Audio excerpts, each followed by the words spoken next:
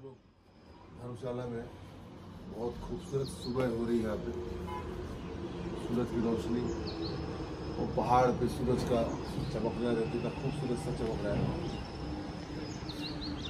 ये सब देख के लगता है एक सूत्र याद आ रहा है, श्लोक याद आ रहा है। भस्मीभूत से देहस्य पुनरागमनम कुतः। ये शरीर भस्म हो जाए वापस कहाँ आने वाले आने वाले हैं?